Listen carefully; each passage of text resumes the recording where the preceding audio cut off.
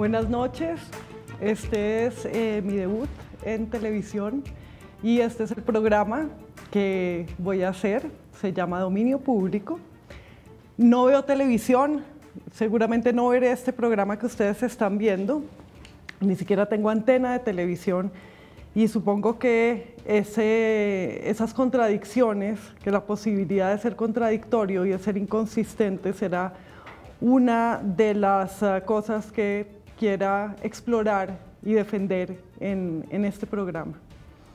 Eh, y más que un derecho, más que una actitud común, creo que la contradicción es una oportunidad de los seres humanos, así que aquí estoy contradiciéndome al, eh, al, hacer este programa de televisión, ya lo he hecho antes al dictar clases cuando realmente no puedo asistir a una clase ni a una conferencia porque no puedo poner atención, así que no será la primera vez que me contradiga y creo que es importante que nos contradigamos, eh, especialmente ahora en este tiempo en el que la política y la publicidad, es decir, la demagogia y la publicidad, cuentan con nuestra previsibilidad.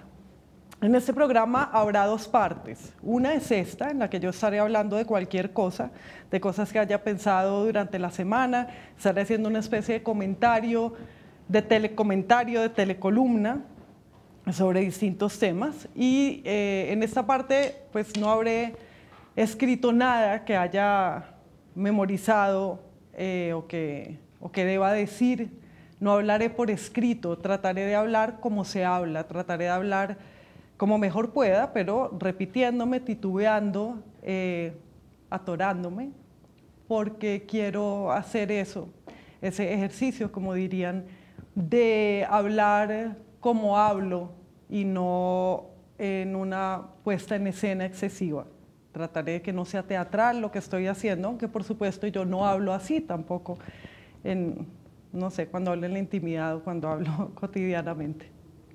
Eh, no estaré usando un teleprompter, así que ya se dieron cuenta de que estaré leyendo eh, aquí en unas, en unas hojas los apuntes que tenga, pero no leyendo el discurso que, que, haga porque tengo la, la fantasía de estar mirando a alguien cuando miro la cámara y no de estar leyendo lo que yo misma debo decir. Por supuesto, eso es una completa fantasía y una falsedad porque lo que estoy mirando es una cámara que es un túnel, no estoy mirándolo a usted o mirándola a usted. Y sin embargo, creer que lo estoy haciendo, eh, creer que a usted le estoy devolviendo la mirada que usted le da a la televisión, pues es lo que es la fantasía que me anima a, estar hablando de esta manera. El, el uh, programa se llama Dominio Público y hay muchas opciones de títulos que descarté para, para llegar a este. Una estudiante que se llama María del Mar me sugirió que el programa se llamara Quedarse Hablando, luego se me ocurrió a mí que se llamara Según con quién, una combinación así como de preposiciones que no tuviera mucho, mucho sentido. El primer título que se me ocurrió, de hecho, era Conversaciones con Personas, que era un título no tan malo, pero un poco soso, desabrido. Luego se nos ocurrió, digo a amigos y a mí, tenemos que hablar, pero sonaba mucho como la película de, Kevin, que era bastante ominosa. Y luego venía con un amigo de un paseo por un río y estábamos hablando de lo que pasaría con lo que hiciéramos después de que nos hubiéramos muerto, eh, quién heredaría nuestros derechos, etcétera. Si es que hubiera algún interés en que en que esos derechos eh, siguieran eh, ejerciéndose, los derechos de nuestra obra. Y entonces hablamos en un momento dado de un autor. Yo pregunté por, por un autor y él dijo, ah, no, lo que él, eh, su obra ya es de dominio público. Y entonces enseguida le dije a mi amigo, ese es el título del programa. Y ni siquiera sé muy bien por qué, porque dominio público pues significa que pasa a ser de propiedad de, de toda la gente, de nadie, la obra de alguien. Y eso no tiene mucho que ver con este programa de televisión. Lo que eh, me vino a la cabeza más bien fue que es la primera frase que dice Caetano Veloso en su disco Prenda Mía, en, eh, en, en la versión en vivo. Y enseguida canta una canción que se llama Jorge de Capadocia. Esa canción no, no la puedo poner a, sonar porque este es un programa que se hace con recursos públicos y no podemos despilfarrarlos eh, pagando esos derechos, pero entonces, si ustedes quieren saber cuál es la música de este programa, la música es la canción Jorge de Capadocia de Caetano Veloso, y el que ustedes la puedan oír y luego memorizar y, y cantar, significa que es también, una y otra vez, significa que es también de dominio público algo que es privado y por lo que hay que, que pagar. Lo público, que está en el, en el título del programa, eh, pues se refiere a que este es un programa que estoy haciendo para la televisión pública y me gusta estar haciéndolo para la televisión pública. Como algunos saben, he sido defensora de los espacios públicos en general, de los espacios públicos físicos, pero también de la educación pública, por ejemplo. Y es importante recordar que lo público no es lo del gobierno y lo que pertenece a la ciudad no es lo que pertenece a determinado gobierno de la ciudad. Entonces, eh, en este programa, cuando haga falta, pues criticaremos a lo que haga falta de la ciudad y de su gobierno. No es que sea el propósito, mi propósito al hacer este programa, pero se podrá hacer porque no es un cargo diplomático, además, ni siquiera es un cargo. Em, alguien saldrá, lo anticipo, con, están mm, poniendo ahí a Carolina Sanina que diga bobadas con nuestros impuestos, porque la gente cree que sus impuestos alcanzan para mucho y suelen decir esa frase. Y les recomiendo a los que estén tentados a pensar y a decir eso, que piensen que con sus impuestos en realidad se está pagando el programa de televisión del, del presidente, el programa diario ese que ha tenido y que este programa y mi salario se paga con mis impuestos. Eh, bueno, la segunda parte del programa, después de esta hablada de cosas, será una entrevista. Entrevistaré por lo general a una persona, a veces a un, eh, par de personas. Quiero a través de eso conocer un poco a gente que me interesa y que creo que puede interesarles a ustedes y en ello interpreto también, con ello interpreto el interés público. Estaré pensando en una persona probablemente durante toda la semana y luego vendré y le preguntaré, eh, le haré preguntas y espero ir descubriendo cómo una entrevista es aprender a hacer la pregunta precisa, así como escribir prosa o poesía es aprender a encontrar la palabra precisa y armar la frase precisa. Esto será, supongo, como empezar a armar una serie de preguntas que tengan algún sentido y que sean el relieve para eh, que sean los relieves de la personalidad que, quiero revelar. Me parece que es interesante también la, el problema que plantea una entrevista en cuanto a que es un acto de hospitalidad y entonces si quiero confrontar a mi huésped tendré que articular eh, la confrontación con, la cortesía y con la amistad y con la amistosidad. Eso es entonces este espacio público que quiero, que quiero imaginar, que sea como un rincón en un parque en el que hable sola yo, como los locos de los parques, y hable también con alguien. Eh, ya volvemos con la segunda parte del programa.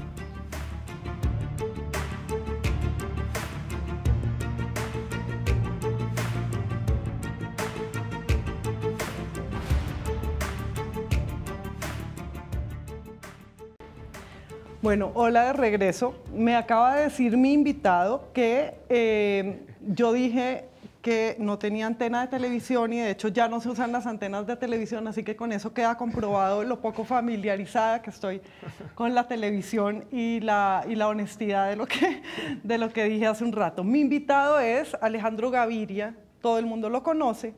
Sin embargo, vamos a decir para que quede para el registro histórico quién es. Es un hombre que ha estado a cargo de la salud pública del país, también ha estado a cargo de parte de la educación privada del país.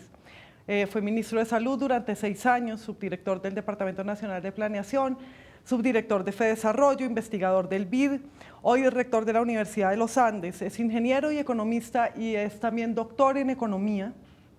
Eh, ha escrito investigaciones, ha hecho investigaciones sobre temas sociales como la guerra contra las drogas, la movilidad social y es autor de varios libros que son muy leídos.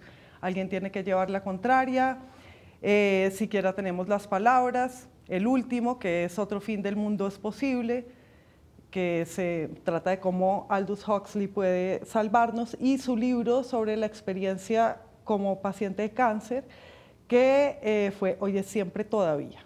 Entonces es un escritor y un profesor y un eh, administrador de la educación, un exministro y ya sabremos si otras cosas muy pronto. Alejandro, bienvenido. Gracias por venir. Muchas gracias Carolina por la invitación. Saludos a todos quienes nos ven o nos oyen esta noche. Bueno, complacido de estar aquí y compartir un rato. Bueno, pues es muy generoso haberse prestado a este mi primer eh, intento de entrevista. Gracias. Gracias. Eh, la persona que se presta a ser entrevistada también está enseñándole al entrevistador o a la entrevistadora a entrevistar, ¿no? Así que, que bueno, asumo esto como un acto educativo. Y quería que empezáramos a hablar eh, de la educación, porque he visto en eh, su Twitter, y, voy, a, voy a tutear, porque en realidad cuando me imaginaba haciendo este programa, me imaginaba ustedeando, pero al tenerte aquí me sale tutearte, entonces voy a tutear y, y bueno. Está perfecto. Eh, terminaré mezclándolo, etcétera. He visto en tu Twitter que eh, has usado últimamente el hashtag la educación presencial es vital y me pregunté por qué es vital o por qué te parece que es vital en este momento volver a la educación presencial que los estudiantes, pues los de los Andes, pero me imagino que también se refiere a otros, vuelvan a el lugar en donde estudiaban y al lugar que se construyó como un recinto para la educación. Eh, Carolina, eh, tal vez lo primero que quisiera decir, cuando yo he utilizado ese hashtag o he entrado ese debate por allá desde el mes de agosto, septiembre del año pasado, recuerdo haber tenido un, uno de esos tantas reuniones de Zoom con el neurólogo pediatra Jorge Eslava. Estaba pensando sobre todo en eso, en la educación básica y media, y voy a dar cinco razones telegráficas si quiere, porque yo creo que las brechas digitales y las brechas de aprendizaje están creciendo en este país de una manera impresionante. Uno podría decir que en el país en este momento no hay educación rural. Se ha acabado casi completamente. O sea, hemos vuelto a hace 100 años. Segundo, porque yo he empezado a ver, y ahí sí hago la conexión con la Universidad de los Andes, temas de salud mental, aumento en la deserción escolar, tanto universitaria como en básica y media, hay un nexo que comienza a ser evidente entre el aumento estrepitoso del desempleo femenino y el cierre de la educación presencial. Comienza también a existir evidencia de que hay reclutamiento de grupos armados aprovechando ese vacío en la educación en buenas partes del país. Uno comienza a superponer estas razones y sobre todo las últimas eh, pronunciamientos de los pediatras que comienzan a decir y poner el dedo en la llaga y decir, mire, esto le está haciendo daño a los niños. Yo creo que esa es una serie de razones que nos podrían llevar a decir, digámoslo así, en un tema de derechos, que los derechos de los niños, niñas y adolescentes de Colombia están siendo vulnerados y que como hemos abierto muchas partes de la vida, porque los restaurantes están abiertos, los centros comerciales están abiertos, aquí estamos en un estudio, ¿por qué no intentar, por lo menos en algunas partes, cuando ciertas condiciones estén dadas, abrir los colegios? Me parece que ya tenemos una serie de razones suficientes para hacerlo. Sí, eh, yo estoy de acuerdo y sin embargo pienso que, eh, que los espacios dedicados a la educación muchas veces no hay características específicamente dedicadas a la educación, no son espacios didácticos, ¿no? Y es lo que pasa más, y pensaba más en las universidades que en los colegios. Las universidades no son como eran, digamos, las catedrales en la Edad Media, que era un espacio educativo que era en sí mismo un libro legible con los ojos y, con los, bueno, con todos los sentidos en realidad. Entonces no podría uno pensar que a través de, este, de esta nueva condición de la pandemia poder no, podemos darnos cuenta de que el espacio universitario no estaba cumpliendo realmente ninguna función o tal vez estaba cumpliendo en algún momento incluso funciones adversas por la eh, sobrepoblación en las aulas, por ejemplo. Eh, o por eh, el exceso de locales comerciales, que ya sabes que es un tema mío, el exceso de locales comerciales y de marcas y de publicidad en los recintos universitarios, no podremos transitar, en el caso de la universidad, no, no me meto por ahora con lo de los colegios, a entender que la educación pues es una cosa eh, que, que, se puede producir a la distancia, como sabemos, como hemos sabido siempre los lectores, Yo diría lo siguiente, Carolina, si nos resignamos a ese problema que tú identificas, esto es que esa otra parte de la educación, esa conversación, ese recinto, mm. esa analogía que tú haces entre estar en un campus universitario, una catedral, es como leer un libro, o sea, una experiencia que es en sí misma, habitar ese espacio formador. Si nos resignamos a que eso no va a pasar, pues hagamos la educación virtual. Si simplemente es acumulación de capital humano, aprender un lenguaje de programación, pues hagámoslo así. Lo que pasa es que yo no quisiera resignarme a eso. Y yo creo que en todo caso, por lo menos algunas veces, para algunos estudiantes, ese ámbito sigue siendo formativo, sigue siendo importante. Hay algunas conversaciones. Pues tú fuiste profesor en la Universidad de los Andes por mucho tiempo, ir a esa biblioteca en todo caso eh, es emocionante, ¿no? No entremos ahí porque la biblioteca está dentro de un sitio en el que hay muchos restaurantes y precisamente sí, la biblioteca pero no entra y hay alguna magia. Yo, yo cuando entro... Sí, a la biblioteca Sí, sí, me gustan esos espacios. ¿no? A mí me gustaba Yo escribí mi tesis de doctorado en la biblioteca. Pero en la biblioteca de la universidad. Ya, yo también, pero no, no en las de los Andes. Sí, pero bueno. Y bien ese espacio es eso, no era un espacio donde se prestaba para el pensamiento. Y yo quiero rescatar en todo caso esa otra dimensión de la educación, el pensamiento crítico que se genera en la conversación, esa forma de autodescubrimiento que yo creo que necesitan un ámbito presencial. Y yo creo que de hecho podrían, y me imagino que podrían hacerlo ustedes y que lo podrías hacer tú como rector, inventar, aprovechar este momento para inventar espacios de convivencia que no sean el aula y los sitios de recreación, ¿no? Que, y, la biblioteca que en realidad es tan extraña. O el centro deportivo. Sí, el problema con las universidades, Carolina, es que tienen, eh, son contradictorias, paradójicas, como tú empezaste un poco este programa, ¿no? Y tienen ese ámbito. En muchas dimensiones uno podría asociarlas a un club social, pero no es solo eso. Yo creo que también tienen ese otro elemento que yo asociaría más a lo que tú decías, a una especie de espacio de reflexión, a un convento donde la gente que no va a ser devorada por el mundo o que no ha sido devorada por el mundo, está allí para pensar algunas cosas que solamente las va a pensar en ese ámbito. Sí, pero entonces habría Pero algo se tiene que rescatar. Ahora ya nos inventamos, esta es la época de las palabras vacías, tal vez resignificar la presencialidad.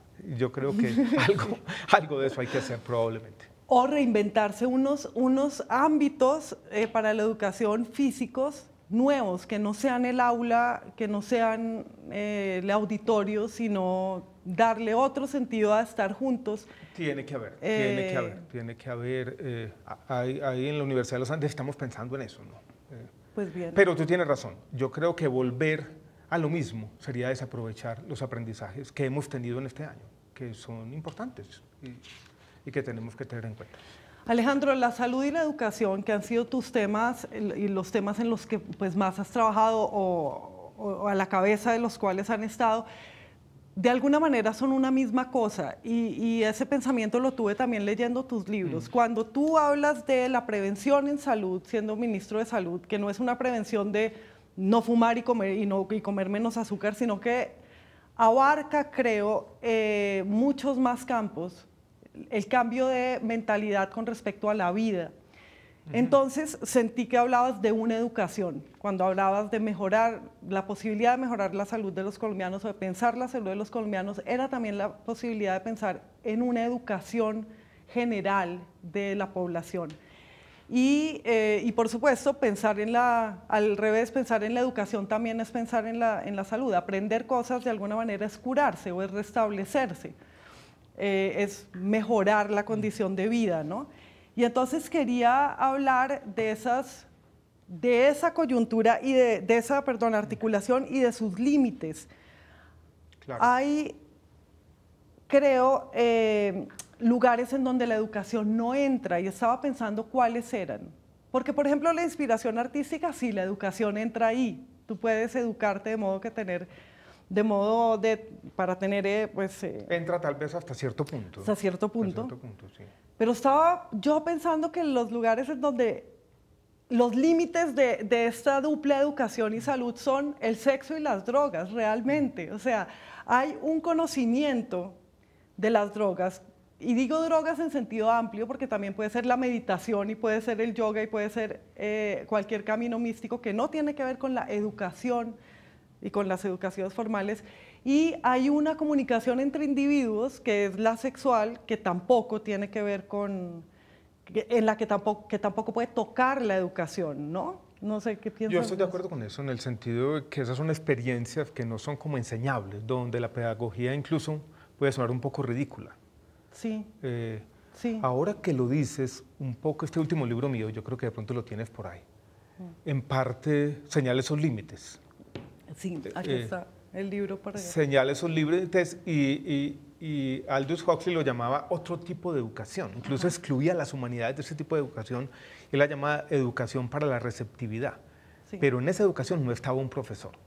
Y en esa educación no había como un esfuerzo deliberado pedagógico, sino que era una búsqueda individual, donde los libros podían acompañarnos. Había algo de eso, pero tiene razón. Eh, yo creo que ahí hay límites de, de las instituciones educativas. O sea, es un camino, hay un camino que no es educativo y que sin embargo es un camino. Y yo creo que tú lo has explorado también, lo has explorado a través de tu enfermedad y de tu sanación y de escribir acerca de ello y a través de la lectura íntima de autores. Eh, eh, mencionas este, este último libro que que escriben Huxley y tú juntos, que es un libro que se escribe entre la vida y la muerte esta vez, pero ya no por el cáncer, sino entre un muerto y un vivo. Y a mí fue un libro que me emocionó mucho porque me habló de la compenetración. Tenía esa, esa palabra en la mente mientras, mientras lo leía, que es compenetrarse con un autor y escribir con él. Creo que todos tus libros son muy de citas, son libros de lector, pero este especialmente, este ya lleva a, a la posibilidad de esa escritura en en conjunto. Y en este libro, al final de este libro, y a mí me sorprendió muchísimo, eh, tú cuentas sobre una experiencia con, eh, con drogas psicodélicas. y, quiero que me que menciones un poco no, eso. No lo esperaba. Yo no lo esperaba, nunca. Tampoco esperaba enterarme de que tienes dos tatuajes. Ah. que me enteré en otro libro. E, esta es una persona tatuada y, y, que tiene experiencias con drogas y uno lo ve como el hombre más formal del país y el próximo presidente. Antes de responderte, me gusta esa palabra compenetración. Con este libro me pasaron a mí cosas interesantes, Carolina. ¿no? Yo estaba en una reunión de, en Nueva York, recuerdo, de Open Society, que yo estoy por allá en un tema que tiene que ver con temas de política antidrogas. Estaba cayendo un aguacero muy grande y eh, me tocó refugiarme en una librería de viejo. Y entré así de casualidad. Y lo primero que vi fue los dos tomos de la biografía, de la primera biografía de Aldous Huxley, escrita por una de sus amigas, publicada por allá en los años 70. Me la encontré así de sopetón. Si eso no hubiera pasado, jamás habría escrito este libro. Entonces fue un libro que de alguna manera me persiguió. Después mi hija me regala una foto y me dice, es idéntico. Y yo me veo y sí es parecido, ¿no? Físicamente. O sea, ha existido eso, una cosa un poco extraña de, de, compenetración. Cuando yo leí ese librito, ese ensayo, publicado en el año 1954, Las puertas de la percepción, estaba pensando este libro, yo pensé, Carolina, casi que por honestidad intelectual, yo tengo que pasar por lo mismo. Y no me decidía, no me decidía, no me decidía. Yo dije, no voy a hacer eso. Y encontré, ¿sabe dónde encontré la fuerza para darle paso en este librito, en un libro de George Steiner, de entrevistas, donde él dice lo siguiente. Es el último capítulo que llama El epílogo y aprender a morir. Y le pregunta a una periodista francesa, bueno, ¿usted de qué se arrepiente? Pero leyéndole también me ha sorprendido descubrir que se siente no haber probado LSD. Y él dice que, no voy a leer la respuesta, pero que ya al final de, de su vida, con 90 años, después de haber hablado con muchos de sus estudiantes, era algo que le quedaba pendiente. Entonces yo digo, ah, si, este tipo pensó eso, yo estoy listo. Había leído toda la literatura científica, llevaba dos años preparándome, conocía los últimos eh, artículos escritos tanto en el Imperial College como en Johns Hopkins University. Y aquí cuento la experiencia. La cuento en tercera persona, ¿Por qué en tercera persona, Alejandro? Para, de alguna manera alejarme un poco y, tener como la distancia adecuada. Me pareció interesante, que revelador. verse un poco de Ese desdoblamiento. Sí, una especie de desdoblamiento. No fue una gran experiencia mística, no tuve esa conexión eh, que describe Aldous Huxley, pero fue una experiencia leccionadora de la que yo aprendí. Bueno, pues lo haré. Lo haré. De partes de mi personalidad creo que era, alguien decía que todos tenemos nuestra faceta ridícula y yo creo que aquí se ven cierta forma, ciertas obsesiones, ciertas neurosis que tenemos todos. Yo digo en algún momento que ese peso que yo me he puesto encima, de tener que salir como todos los días a descrestar al mundo, algo un poco ridículo, complejo, yo he cargado con ese peso, se me vino a la mente atropelladamente, éramos como una carga, y me dio un poco de tristeza propia. Ah. Algo que me había ocurrido por ahí en el colegio cuando tenía 10 o 12 años, en un día del idioma que yo tenía que recitar un, un poema con esa obsesión de hacer las cosas bien hasta la última, me lo había aprendido y fallé una cosa, me reí y me di cuenta que 40, 50 años después no me lo había perdonado. Eh, es una cosa impresionante lo que sentí. No me acuerdo bien, no me acuerdo bien. Tengo un amigo... mi profesor de español me lo había recomendado. Lo que recuerdo es encerrado en una pequeña, una casa de dos pisos cerca del estadio de Medellín, repitiéndolo, repitiéndolo, repitiéndolo. Tratarlo de decir bien, dar un traspiés, reírme y no perdonarme. O sea, una especie de juicios absolutos sobre, sobre uno mismo muy complicados. Pues eso me interesa porque por un lado vi a través de estos libros algo que, que tú tal vez te impones, y perdón si esto ya está, está resultando muy íntimo y muy meterse al rancho, como dice que es la, la consistencia. Hmm. Y que además admiras mucho en los otros. Sí. Que, que se diga lo que se piense y que se obre de acuerdo con lo que se dice. Y tú lo pusiste en práctica cuando, eh, con tu tratamiento para el mm. cáncer, que lo hiciste en Colombia, eh, rechazando totalmente la posibilidad de irte a hacerlo afuera, porque también habías rechazado mm. la, petición de alguien que había pedido hacerse un tratamiento de cáncer afuera. Y, y, a mí me impresiona un poco ese imperativo de la consistencia, porque me parece un imperativo moral imposible de cumplir y de pronto estéril también, pero esto, esto ya es... Es una buena pregunta, ¿no? Eh, tal vez es una deformación, Carolina, de, haber estado expuesto tanto tiempo y haber visto que en la vida pública eso no se ve, que uno dice una cosa y no importa y mañana hace otra, ¿no? Sí. Tal vez lo asumí demasiado, lo tomé, lo tomé demasiado a pecho, tal vez más de la cuenta, tal vez es un, poco una deformación. Pues estaría bueno. Pero me parece también interesante, yo creo eh, que tratar por lo menos en ciertos ámbitos de la vida de ser consistente, ¿no? de ser una, decir una cosa y obrar de manera consecuente. Eh, sí. Pero si tú, tal vez, como todo en la vida, ¿no? Eh, tampoco está bien exagerar. Y yo lo pongo de una manera tal vez demasiado dramática en, en, el libro este sobre el cáncer, donde incluso lo dije en una entrevista recientemente. Yo digo, hay cosas peores que la muerte, porque yo haber defendido en todos los espacios, día tras día, por varios años, mm. la equidad de salud, y que hoy, después de haber eso, imagínate que mañana diga, aquí me pueden poner una vacuna usted primero, porque tiene, yo tengo en ese momento estoy inmunosuprimido, ¿no? Me puede dar COVID y seguramente voy a tener una enfermedad grave. Pero yo no sería capaz de ponerme la vacuna. De, saltar la cola. No, no sería capaz. Sí, dicho, peor que la muerte.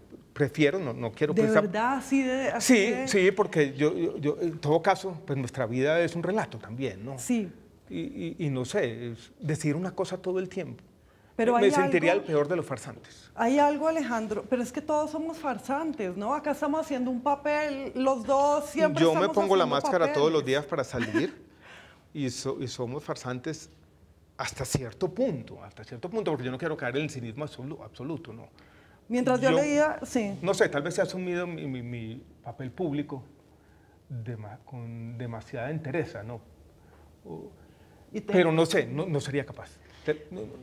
Mientras yo leía estos libros había algo que me, pues estuve conversando contigo en mi mente y había un conflicto que tenía, que se me aparecía una y otra vez, y era eh, esto, que me, esto mismo que me acabas de mostrar, preferiría la muerte. Hay algo de que tú has llamado el espíritu, ¿el qué?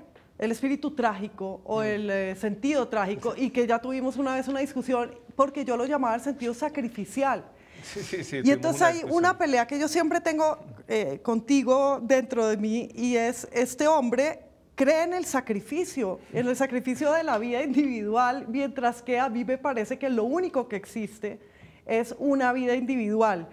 Y entonces, eh, y entonces trato de entender esto. Y leí en tu libro, ¿en cuál era? En tu libro, eh, siquiera tenemos las palabras, una pequeña distopía que tú, es, que tú inventas y en la que eh, terminaría sacrificándose un 20% de la población mundial de cada país, pues para que puedas, podamos seguir con la civilización humana y esas personas por sorteo terminarían siendo sacrificadas. Y aunque sé que es una distopía y aunque sé que es una, que es una sátira, como ya habías escrito esa vieja columna satírica de una, proposición, una propuesta modesta, eh,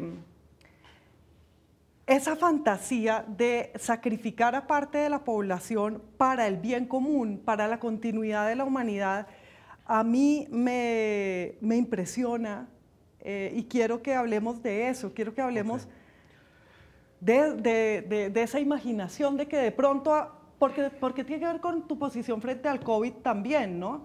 De pronto se tienen que morir unos para que esto siga. Quiero que me hables de eso un rato.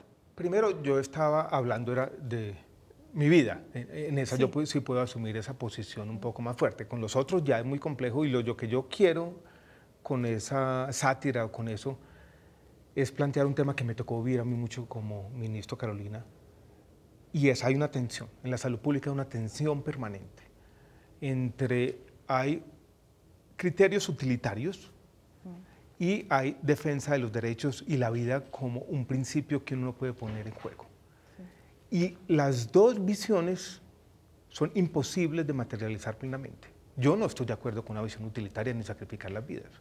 Pero sé que si uno dice al mismo tiempo, una vida es, no tiene precio, y entonces yo puedo invertir absolutamente todos los recursos públicos en esa vida, eso no es practicable en la práctica, en, en, la realidad, en la toma de decisiones cómo buscar un equilibrio entre esas dos visiones, entre esas dos visiones éticas, yo, e, es algo que me llama la atención, es algo en lo que yo he estado inmiscuido y es un debate que me gusta y que me gusta mantener permanentemente.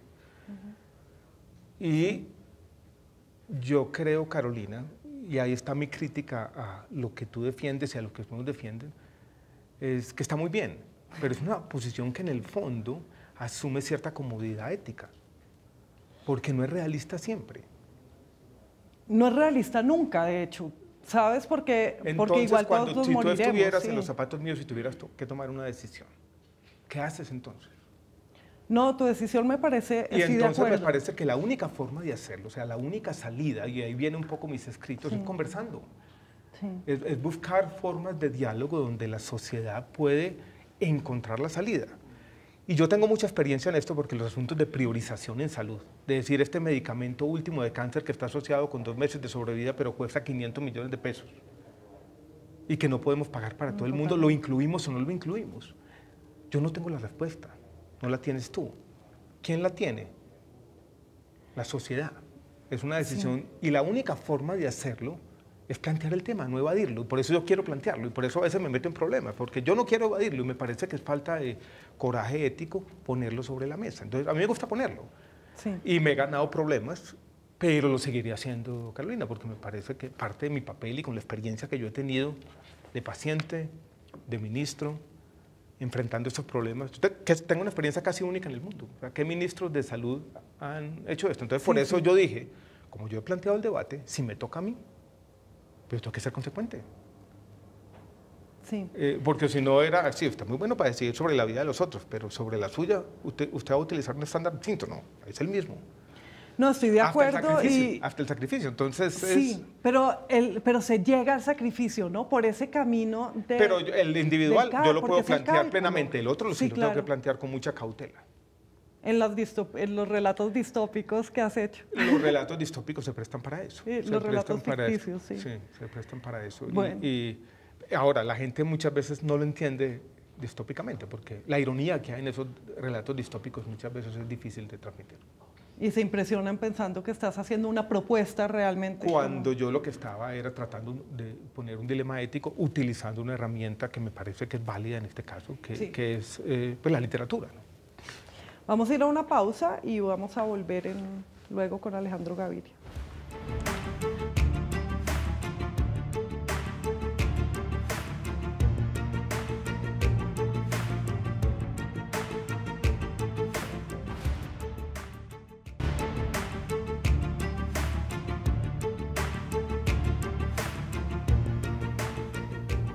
Alejandro, en ese texto eh, que acabamos de brevemente reseñar, en, ese, en esa fantasía eh, distópica que metes en este libro, siquiera tenemos las palabras, el profesor que se opone a esa solución de la reducción de la población a través de sacrificar al 20% de los vivos, termina suicidándose. Y eh, tengo un amigo que es Pedro Adrián Zuluaga, el escritor antioqueño, que lo, a quien conoces, que te manda una pregunta, además no relacionada con esa distopía, lo mandó por otro lado. Él quiere, quería que yo te preguntara acerca del suicidio, porque tú ejerces cierto magisterio ético entre los colombianos y la pregunta ética, la gran pregunta ética es la pregunta por el suicidio. Y añado yo por mi parte, la gran pregunta ética es, ¿de quién es mi vida? ¿Sí? Yo soy, mi vida es mía, que es también un poco de lo que veníamos hablando, ¿no? Eh, o mi vida es de todos los demás y por eso podrían exigirme el sacrificio. El sacrificio puede ser matarme o el sacrificio puede ser presentarme como candidato a la presidencia, ojo. Pero, pero en fin, quería que habláramos ya no del, de esos tipos de sacrificios, sí son parecidos, sino del el suicidio. Y, la pregunta es... Háblanos del suicidio, de éticamente cómo lo ves, y yo añado la relación con ese tema de quién es mi vida y también, también tal vez añado esa pulsión al suicidio que parece tener nuestra especie, que parece tener el ser humano, al suicidio colectivo, que es algo que mencionas también en los a libros. la autodestrucción, yo creo que tenemos una pulsión, yo creo que tenemos una pulsión colectiva hacia la destrucción, me parece, ¿no? Incluso como especie, es como si la especie humana fuera una especie no como esos fósiles vivientes que duran 60, 70 millones de años, sino fulgurante, ¿no? Mm, que, va a brillar por un tiempo y desaparece para siempre. Yo estuve en los debates de eutanasia y me tocó enfrentar esta pregunta sobre quién es la vida. Mm. Y creo en el, en el suicidio, por lo menos bajo ciertas condiciones, por ejemplo la del sufrimiento y el dolor, como un ejercicio de la libertad. Y mm. creo que morir dignamente hace parte de vivir dignamente. Y defiendo, y defiendo de manera vehemente, dijéramos, esa libertad. Y me parece que, por ejemplo, parte de la educación pública en los temas de salud y educación, un tema donde sí se puede meter la educación es aprender a morir. Y por eso las voluntades anticipadas con respecto al sobretratamiento médico y con respecto a la eutanasia me parecen muy importantes. Dejarlo por ahí, en una conversación familiar, con el médico tratante, en un video en YouTube, esa voluntad me parece muy importante. La respeto. Me parece inquietante, tampoco voy a soslayar completamente que este es un tema complejo yo alguna vez vi comparaciones, eh, Carolina, de países que tienen tasas de suicidio alto que la gente asocia con cierta infelicidad, pero yo nunca lo he asociado así. Yo lo he asociado con lo contrario, con, cierto ejercicio de la libertad, o sea, con sociedades que de alguna manera permiten eso como, como opciones de sus personas. Eh, conozco bien los casos de Holanda y Bélgica en su legislación sobre morir dignamente, los respeto, los aprecio, me parecen interesantes. Conozco también todas las, las dificultades porque se nos vuelve debate de, nuevo, ¿no? Eh, cuando la eutanasia se lleva a casos complejos que incluyen la salud mental, alguien podría levantar la mano y lo han hecho, por ejemplo, los religiosos en decir, cuidado, usted ya está tratando a las personas de una manera eh, utilitaria. Sí. Pero entendiendo las complejidades, estoy de acuerdo con... Eh, hmm esa dimensión del suicidio, sobre todo la asociada a morir dignamente. Sí, pero también hay un suicidio no asociado con eso, ¿no? Sino el quererse, el quererse morir de los jóvenes, de un joven sano, por ejemplo, que puede... O, esto sí, cuando se pierde el sentido, ¿no? Sobre todo cuando se pierde el sentido, porque no hay una comunidad que dé sentido y la vida individual tampoco lo ofrece. Sí. Ahora, el suicidio de jóvenes también está asociado, lo tenemos que decir, y los psiquiatras lo hemos mostrado una y otra vez a temas de salud mental. O sea, de allí la importancia también acceso a la salud mental, entendida de manera integral. Sí. Y la salud mental. Porque resignarse al suicidio de los jóvenes no me parece un tema. No, claro, y la salud mental también es educación, también es esa otra educación de la que hablábamos, ¿no? El segundo capítulo de este libro, en el fondo, Carolina, es una defensa de la salud y educación con la misma cosa, que fue una pregunta que tú planteaste al comienzo, ¿no? esa integralidad en la salud, no, no entender la salud como la estamos entendiendo hoy en día. Estamos, tenemos una visión completamente equivocada de la salud. Hoy en día la salud para los colombianos es esperar pasivamente una vacuna. Esa no es la salud. La salud es, en el fondo, un proceso colectivo de, adaptación a circunstancias cambiantes. La salud tiene que ver con capacidades sociales, sobre todo con algo que ocurre en la comunidad. El Estado, por supuesto, puede hacer parte de ese proceso, pero no es todo.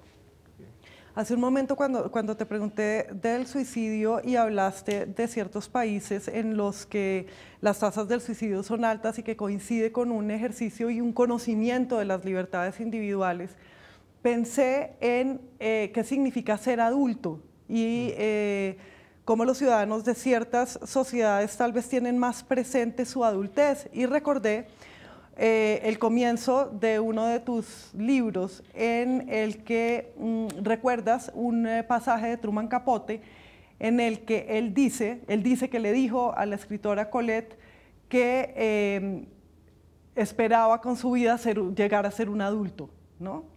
Y, me gusta mucho esa, esa frase, es algo en lo que yo he insistido también en la no infantilización de la sociedad y de las mujeres, especialmente dentro de la sociedad. Y quería preguntarte, ¿qué es ese llegar a ser un adulto? ¿Cuándo llega a ser uno un adulto? Porque se me acaba de ocurrir que al decidir morir bien y que también al suicidarse, de pronto el que se suicida está diciendo que es un adulto de una manera muy retorcida, pero no iba ya la pregunta, iba en general a qué significa ser un adulto. Muy difícil la pregunta y, la respuesta estaba en el mismo texto de Truman Capote, que decía, quizás nunca lo somos, ¿no? Y pasan los años y uno va esperando siempre ser adulto, o sea, juzgar la vida desde cierta sabiduría, ser una especie de Montaigne que es capaz de entenderlo todo, con una especie de desapego, o Rousseau al final de su vida, ¿no? cuando se dedica a su jardín. La muerte es ese momento adulto los últimos años. Em, yo lo miro de esta manera, Carolina. Tal vez una de las cosas escasas en este momento en la vida son los adultos razonables, ¿no? Es, difícil ser adulto. Sí. Eh. y eh, tiene que ver con ese... Yo creo que tenemos momentos adultos, ¿no? Y un poco la conversación que tú estabas planteando ahora sobre esa coherencia tal vez soy yo tratando de tener ese momento adulto, pero tal exagerando. Vez, tal vez te has imaginado que ser eh, adulto es ser coherente exacto, y ser adulto es ser libre en realidad. Sí, tal vez me imagino. Y estoy presa de eso, ¿no? De, como todos, de, Mi, biografía.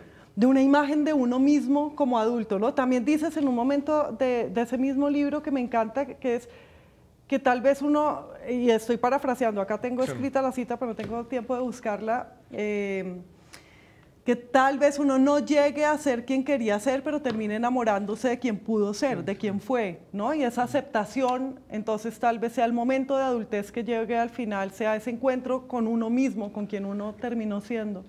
Eh, la vida a veces es inclemente, Carolina. A mí me ha tocado especializarme en una forma de literatura, tal vez la peor de todas. ¿Sabe cuál es? ¿Cuál? Los discursos de grado.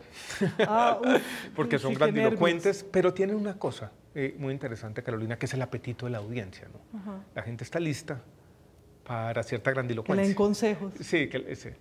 Y en uno de esos discursos, tanto que me ha tocado decir, que yo no me los tomo muy en serio, pero tampoco los asumo completamente de forma cínica, dije esa frase, que uno termina renunciando a lo que quiso ser y tratando de enamorarse de lo que somos. Mm. Sí. Y esa frase, mucha gente la pone todo el tiempo por ahí. Sí. Y me he dado cuenta que es eso, que yo creo que eh, todos estamos en ese proceso. Sí. en disculpar ciertas ilusiones, en disculpar ciertas expectativas, la vida como una negociación permanente con esas expectativas. Entonces sí, de pronto eso es adulto, ¿no? De pronto. La renuncia a, ciertas cosas. Sí. Y la renuncia festiva, no, no la renuncia amargada, sino... Sí, esto. Y eso para mí es Ahora, el sentido trágico de la vida. O sea, esa aceptación. Yo puedo decir eso y tal vez en esto soy un poquito farsante. ¿Un poquito qué? Farsante. porque en el fondo he tenido suerte, Carolina, y entonces es más fácil decir eso cuando pues, eh, he tenido responsabilidades públicas, he llegado a ser rector de una universidad, entonces... A mí no me gusta la palabra éxito, no, no, creo pero es, es fácil, tal vez. Pues puedes estar satisfecho con sí, haber hecho Sí, profesionalmente por lo menos, sí, profesionalmente por lo menos, sí, sí. Entonces alguien dirá, pues sí, claro, es más fácil decirlo. Hmm. pero todos tenemos nuestra lista y nuestro inventario, nuestra colección de fracasos. Yo tengo muchos apuestas. Que nos va a tocar decirlos en el próximo programa porque en este tenemos que abordar un tema antes de que se nos acabe el tiempo. Y es lo de la tal, lo de la tal candidatura presidencial. Yo creo que a mí ya me tiene tan aburrido el tema como tan aburrido el tema como a ti. Yo opino, yo opino lo siguiente. Yo opino que es verdad que tú no quieres, opino que vas a terminar aceptándolo porque creo que te gusta no hacer lo que no quieres. Así que... Lo he hecho en mi vida varias veces. Así que creo que vas a ser candidato y además, lo dije en 2018 cuando nadie lo decía, por ahí está el tweet, yo fui la, yo fui la lanzadora de la candidatura, de alguna manera. Pero lo que te quería preguntar era no si vas a hacer o no, porque eso ya se verá, sino qué crees que eh, tengamos, qué imagen de ti crees que tengan las personas que están pidiendo que seas candidato. O sea, ¿por qué esa presión? ¿Por qué, qué, hay en esas personas, en su deseo, que, que, exijan con urgencia que te candidaticen? ¿Quién, creen que, ¿Quién creemos que eres para eso?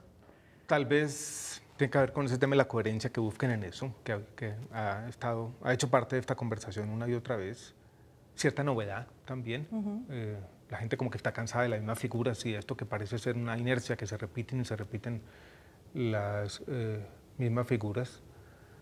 Hay tal vez ciertos malentendidos de lo que es la política, de esa naturaleza paradójica de la política. Y es que la política no necesita héroes morales mm. para hacer la diferencia. Yo me acuerdo leer la biografía de Lyndon Johnson, que era un tipo despreciable de alguna manera, éticamente criticable en todas las dimensiones, pero fue capaz de hacer unas transformaciones sociales, incluso que tienen que ver con el sistema de salud, con Medicare y Medicaid, que beneficiaron a mucha gente. Entonces, e, en, el fondo, Carolina, tenemos este malentendido sobre la política, de, quién se necesita, y yo creo que hay algo de eso también. Sí. Eh, no sé, está esta tentación un poco extraña de las personas que pasan del mundo de las ideas a la política, que casi siempre han fracasado. Pues tenemos uno muy cerca en América Latina, que es Mario Vargas Llosa, que le fue muy mal. Eh, no, espero que este caso sea mucho mejor, porque además me parece el mejor escritor. En Canadá también le fue muy mal. Eh, yo leí la uno de mis libros favoritos es la autobiografía de John Stuart Mill.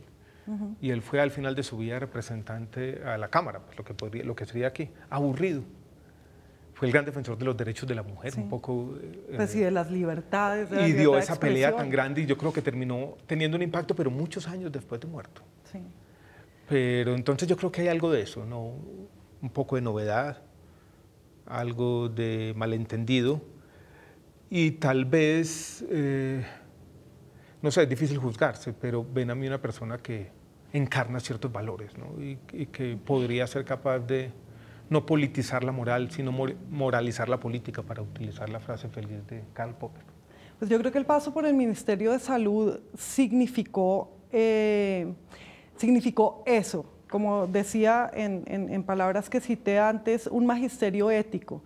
El defender el uso medicinal, eh, la legalidad del uso medicinal de la marihuana, la eutanasia, el eh, promover el debate sobre el glifosato, el, Interrupción voluntaria del embarazo, me tocó un debate muy duro con Alejandro. Ah, ese era otro tema que íbamos a tener, pero que no vamos a tener tiempo, el, el del aborto. Pero, pero todo lo que hubo, bueno, el, impuesto a las bebidas eh, azucaradas, donde fui derrotado. Todo eso fue en el, que, en el que fuiste derrotado. Todo eso significa, implica pues una valentía y, y una audacia y unas ganas de efectivamente hacer unas políticas que pueden ser parciales y... y pues insuficientes, ¿no? e insuficientes, pero a eso iba. Tú has dicho también que eso es lo que se puede hacer, ¿no? Y al, al recordar un, eh, un artículo de, bueno, ¿de quién era? en el que se oponía, ¿de quién era? De Kissinger, en el que se oponía ah. el, el, político profeta al político estadista, eh, entonces parecía que tú estabas de acuerdo con el político estadista, que estaba de acuerdo con hacer pequeños cambios tal vez, en vez de promover una revolución total y una destrucción de lo existente para prometer una nueva sociedad. Entonces creo que ahí está un poco. Ahí, está, yo, yo tengo, y en eso, Carolina, hay como una visión no solamente del Estado, sino de la vida, que en pronto hasta compartimos, porque es la visión un poco de la Edad Media, de la precariedad, de la precariedad de todo, no solamente de la civilización, sino de nuestra salud, y de que en esos órdenes precarios, así sean injustos e incompletos, hay algo que defender. Sí.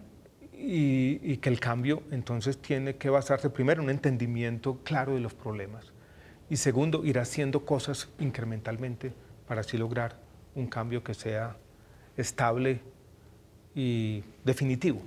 Tengo esa visión del incrementalismo, pero entiendo la impaciencia en este momento de la sociedad. Y entiendo que ese incrementalismo no nos debe de alguna manera perder de vista eh, pues el orden injusto en que estamos. Nos tenemos que ir. Tenemos tiempo para una pregunta de dos minutos que no quería dejar pasar. Yo he dado lora con algo que ni siquiera sé bien qué significa desde hace un par de años, que es la República Erótica. Tenía que ver con el paro, un paro que de alguna manera apoyaste tú también, y tenía que ver con estar afuera juntos, cosa que ya no se puede, y tiene que ver con la política y el deseo eh, y, pero si yo te digo a ti la República Erótica, ¿en qué piensas? Un minuto. La República Erótica, ¿qué pienso yo? No, lo primero que se viene a la cabeza es como una orgía. Ok, bien. Pero República Erótica, ¿qué más pienso? En que es una, así como empezaste el programa, una especie de contradicción, porque eh, ese es tema de, de meter la República como cierta reflexión sobre lo público, dominio público, en el tema erótico, donde las dos cosas están en contradicción. Eso me parece interesante, que la República Erótica sea una contradicción. O parece por lo menos una contradicción, Estoy, lo, primero que se, me, que, que se me viene a la mente. Pero creo que Platón tal vez estaría en desacuerdo, no sé. No sé, luego hablamos. Tienes que volver un día, se nos quedó muy corto esto y más con mi inexperiencia. ¿Sabe por qué doy las gracias? Por haberse leído los libros. los leí, solo por eso, las preguntas no estuvieron buenas. No, no, no, no, porque me parece, pues para una entrevista, haberse leído los libros, ah, la verdad es muy chévere. Muchas gracias. Me encantaron los libros. Vengan la próxima vez. Nos fue bien, ¿no? Estuvo bien todo. Muy bien, muchas bueno, gracias. Chao. Muy chévere. Adiós. Chao. chao.